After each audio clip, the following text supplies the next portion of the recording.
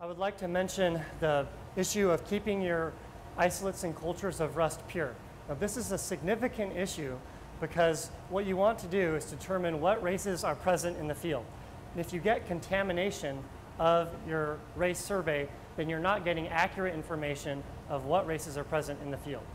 Now with rust and working with rust, it's really easy to get contamination because the spores are present on the leaves and they're coming off of the leaves and blowing around in the air. And so when you're working with your collections that you're taking off of the plants from the field, you need to make sure that you're keeping those collections isolated.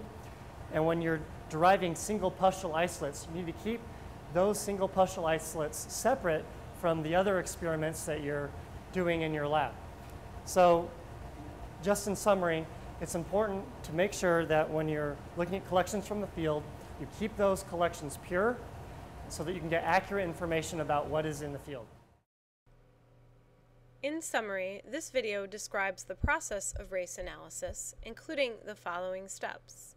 Collecting rust from a field, isolating a single pustule, increasing the rust isolate, collecting rust in a nursery, storing rust spores, inoculating plants, phenotyping differentials, and finally race nomenclature.